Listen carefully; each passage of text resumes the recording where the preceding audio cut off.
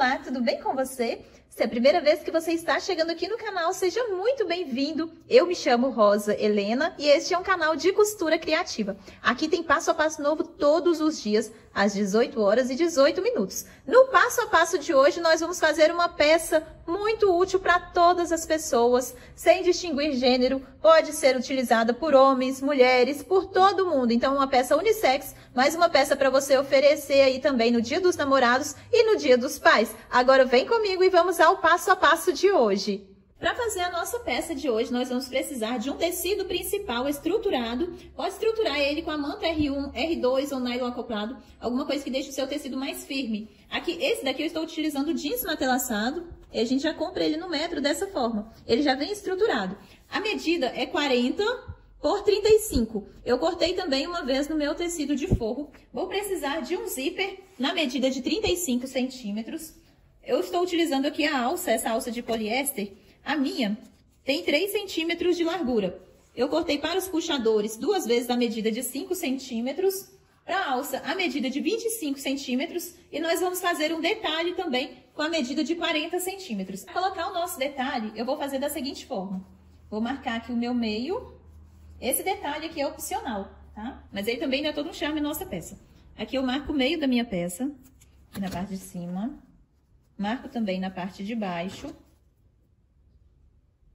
E você pode escolher colocar o seu detalhe no meio da peça ou lateralizado. Você pode colocar ele aqui no meio, exatamente no meio, ou então mais para o lado. A minha aqui eu vou colocar ela mais para o lado um pouquinho, você vai ver.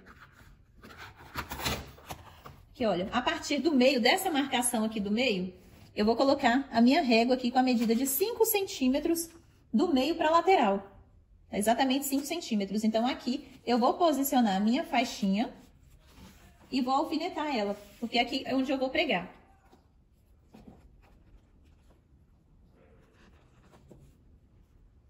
Tá bem?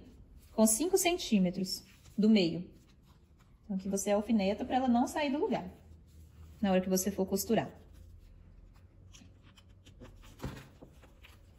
Ela aqui bem de pertinho, eu marquei o meio e do meio para lateral eu medi 5 centímetros. Né? Aqui tá a marcação do meu meio.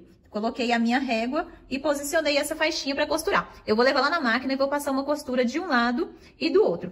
Aqui eu vou passar uma costura na lateral e na outra. Vem passando aqui na beiradinha. Fica comigo até o final do vídeo, porque eu vou deixar aparecendo na tela uma playlist com mais de 140 modelos de necessaire para você se inspirar e fazer aí na sua casa para aumentar a sua renda. Tem muitos modelos lindos aqui no canal e eu tenho certeza que você vai se agradar de algum deles. Olha, eu venho costurando essa parte. Esse detalhe, se você quiser, você também pode fazer no tecido. É só você cortar aí o dobro, né? Marcar o meio e dobrar a, as bordas para dentro e costurar essa parte. Vou marcar o local da minha etiqueta. Eu vou descer 8 centímetros e colocar a minha etiqueta. 8 centímetros abaixo, da parte de cima.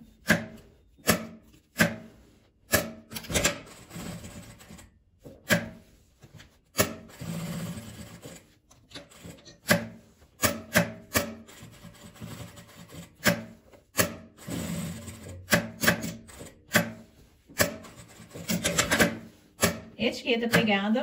Agora, nós vamos colocar o zíper. Eu vou utilizar o zíper em metro. Vou posicionar frente com frente. Vou deixar uma margem para montar o meu zíper.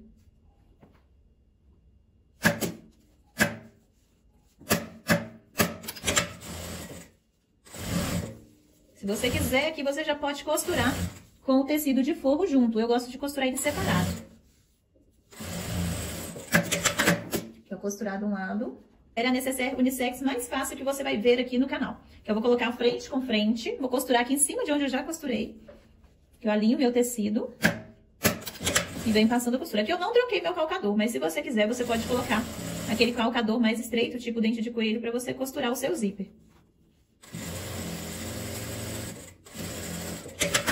Costurada essa parte, vou abrir, vou jogar o meu tecido para trás, aqui para baixo, para rebater essa costura.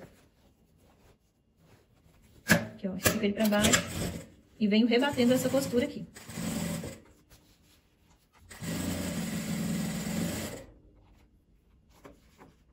Agulha que eu estou utilizando para fazer essa peça é a agulha número 16.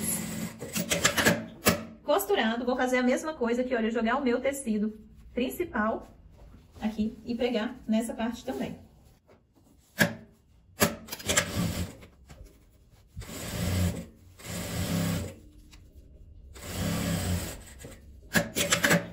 Aqui, ó, pregado. Vou jogar o forro pra frente, pra pegar ele aqui do outro lado também.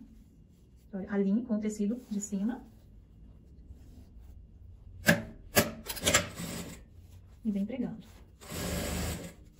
Se você quiser, essa peça pode ser feita no sintético também. Tá? Pode ser feita no plástico, cristal.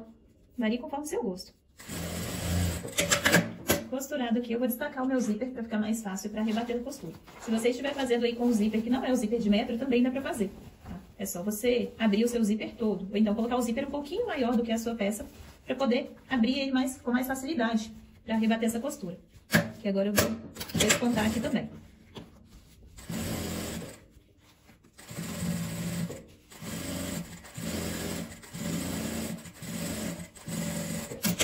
Já vou marcar aqui o meu meio.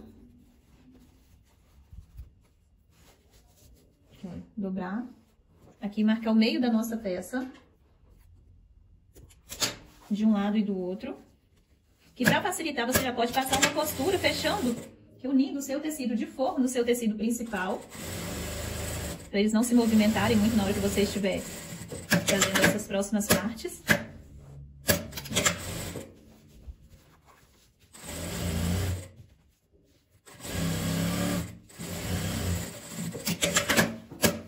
Aqui nessa parte, eu já vou colocar as minhas alcinhas. Aqui eu já cortei, queimei a beiradinha para não ficar desfiando. Então, eu dobro ela aqui e vou posicionar aqui nesse meio que eu marquei. E se você não tiver alça, você pode fazer ela de tecido também. É só você cortar ela com o dobro da medida e dobrar duas vezes. E dobrar para fazer a alcinha. Eu preguei de um lado, vou pregar aqui do outro lado também.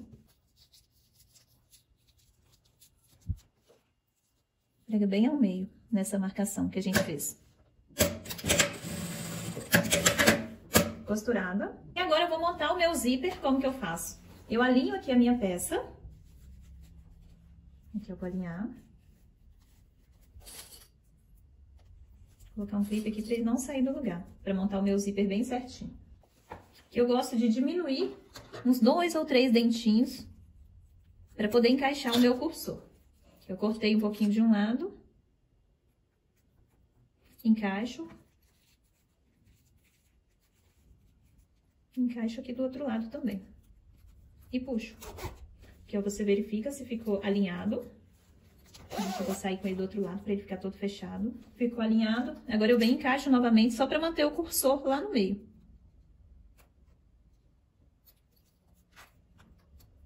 Esse zíper aqui é o de 5 milímetros. Mas se você não tiver aí, você pode utilizar o mais fino também. Vou deixar ele aqui no meio. Agora, eu vou desvirar a nossa peça.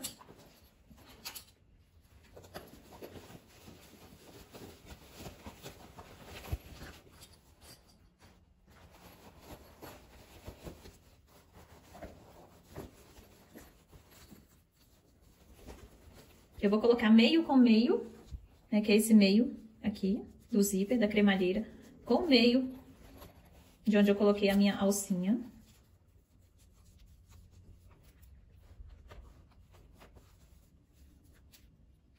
Aqui já facilita essa hora na hora que a gente prega o tecido principal no tecido no forro, porque na hora de pregar, aqui não fica saindo do lugar.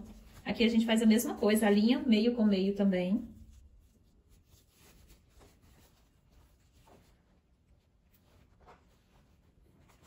É muito importante que esteja bem alinhada essa parte, para não dar problema na hora que você for fazer a caixinha de leite, para necessário não ficar torta. Feito isso daqui, agora eu vou passar uma costura com um pezinho de máquina, fechando essa parte. Aqui em cima do zíper, eu gosto de passar uma costura mais reforçada. E aqui do outro lado, a mesma coisa. Chegou aqui em cima do zíper, dou um retrocesso acabo de costurar. Que eu já vou cortar esse excesso do meu zíper. E nós já vamos fazer a caixinha de leite da nossa peça. Aqui eu vou fazer a caixinha de leite com a medida de 5 por 5, tá? 5 centímetros de altura por 5 centímetros de largura. Essa parte aqui eu vou medir a partir da minha costura, tá? E a parte de baixo na dobra, encostando na dobra.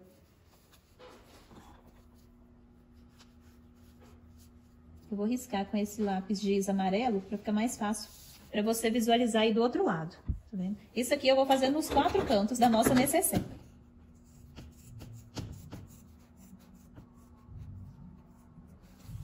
Aqui eu corto de um lado.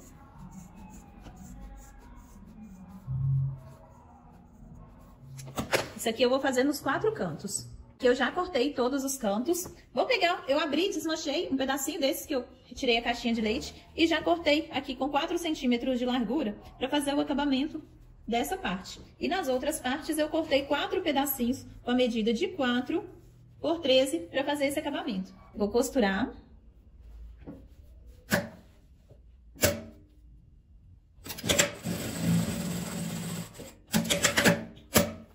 Viro dobro e dobro novamente para fazer esse acabamento. Se você quiser, você pode fazer esse acabamento aqui com viés também.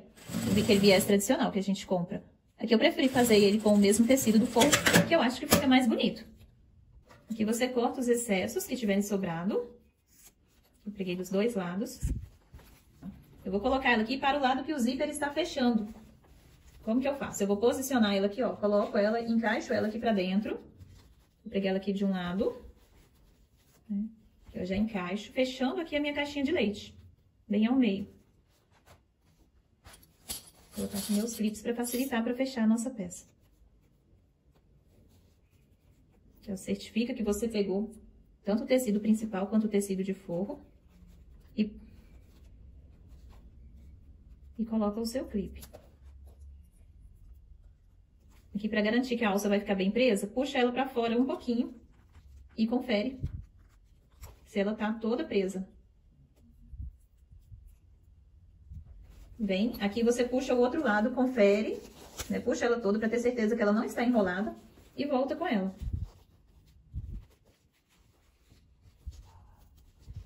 Para fechar essa alcinha. De um lado e do outro. Essa marcação aqui eu vou fazer em todas as caixinhas de leite. E já está toda clipada. O que, que eu vou fazer agora é passar uma costura com um pezinho de máquina, fechando toda essa lateral. Esse acabamento aqui eu vou deixar virado para baixo.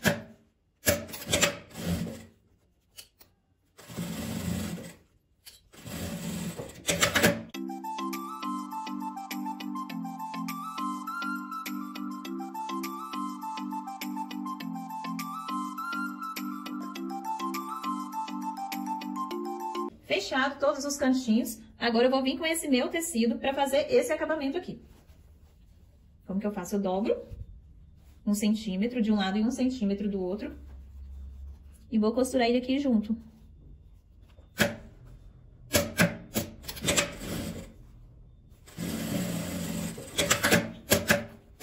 Eu venho e dobro encostando aqui na margem do tecido. E dobro novamente, fazendo esse viés aqui de acabamento.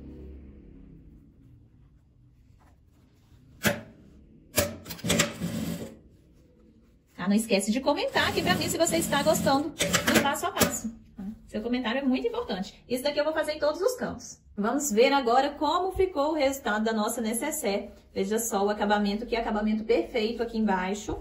Fizemos de uma forma bem fácil de fazer. Estou abrindo ela aqui junto com vocês, para vocês verem como que ficou a nossa peça de hoje. Uma peça linda, cheia de utilidades pode ser usado como necessaire masculina, feminina também, né? Na verdade, a unissex, igual eu falei, ela é bem democrática. Veja só, acerta os cantinhos dela. Com os puxadores para facilitar. A gente amassa aqui um pouquinho, para ela chegar no lugar. Veja só o resultado da nossa necessaire.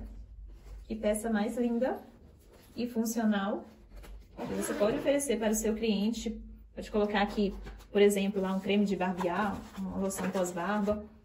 Veja só, que peça mais linda para ele carregar. Quem ganhar, com certeza vai ficar bem satisfeito. Mostrando bem de pertinho para você ver os detalhes da nossa peça. Olha só, que linda que ficou essa necessaire. Um tamanho excelente, que dá para carregar bastante coisa, né? Cliente pode carregar aqui, olha, muita coisa nessa necessaire. Dá para colocar ali o kit higiene para deixar na mala, no carro. Dá para colocar bastante coisa mesmo. O tamanho final dela é 12 centímetros de altura, 21 de comprimento, de largura e 9 centímetros de profundidade. Então, ela tem um tamanho bem legal, que dá para colocar bastante coisa aqui dentro. Eu tenho certeza que quem ganhar vai ficar muito satisfeito. Você gostaria de ganhar uma peça dessa? Me fala aí, você ficaria feliz?